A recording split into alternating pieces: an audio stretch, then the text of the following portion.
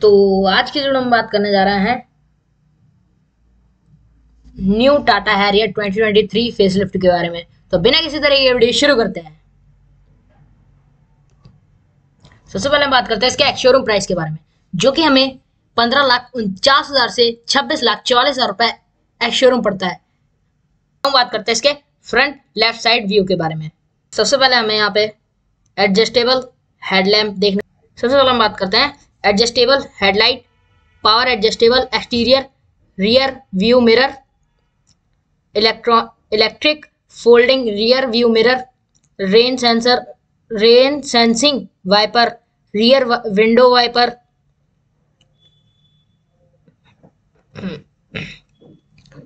और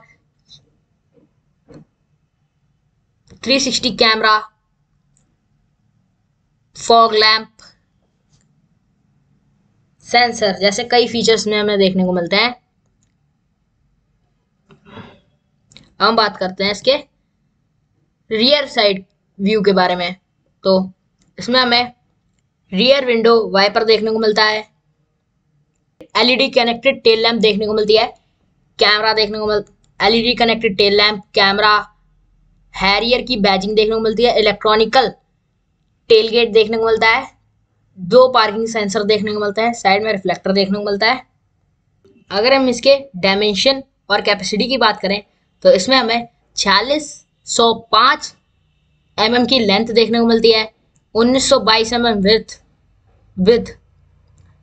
सौ अट्ठारह हाइट, सत्ताईस सौ इकतालीस व्हील बेस देखने को मिलता है। एलॉय व्हील के साइज़ की बात करें तो इसमें हमें 19 इंच के एलॉय व्हील देखने को मिलते हैं फ्रंट और रियर दोनों ही। दोनों में हमें फ्रंट और रियर में डिस्क ब्रेक देखने को मिलता है।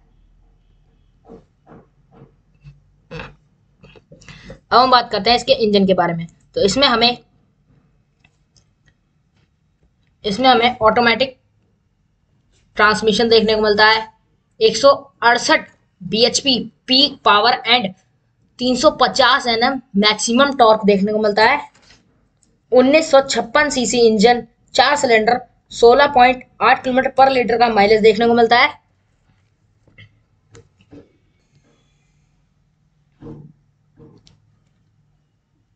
कुछ हमें ऐसा ही इंटीरियर देखने को मिलता है।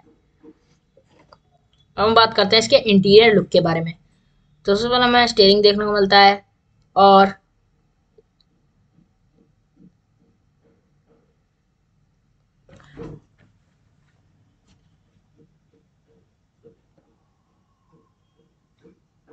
दस पॉइंट पच्चीस इंच की हमें इंफोटेनमेंट सिस्टम देखने को मिलता है। दो एसी वेंट देखने को मिलते हैं। ऑटोमेटिक क्लाइमेट देखने को मिलता है। Two zone automatic climate control देखने को मिलता है। एयर क्वालिटी कंट्रोल देखने को मिलता है। Accessory power outlet ambient light automatic gear box जैसे कई फीचर्स इसमें हमें देखने को मिलते हैं। हम बात करते हैं इसके स्टेयरिंग के बारे में। तो पावर इसमें हमें ट्रिक स्टेयरिंग टाइप देखने को मिलता है। टिल्ट एंड टेलीस्कोप देखने को मिलता है। Power steering, adjustable steering, height,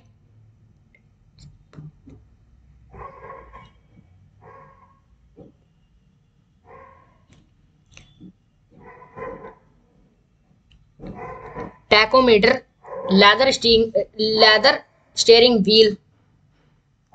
Digital cluster जैसे कई फीचर्स में देखने को मिलते हैं। अब अगर हम बात करें इसके सीट के बारे में तो इसमें हमें फ्रंट में, अगर हम ड्राइवर और पैसेंजर साइड की बात करें तो इसमें हमें एडजस्टेबल ड्राइवर सीट देखने को मिलती है, एडजस्टेबल हेडरेस्ट देखने को मिलती है, फ्रंट सीट बेल्ट देखने को मिलती है, कप होल्डर देखने को मिलते हैं। अब हम बात करते हैं इसके रियर व्यू के बारे में।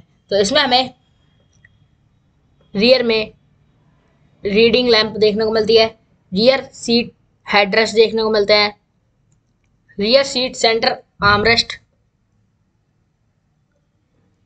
cup holder rear AC vent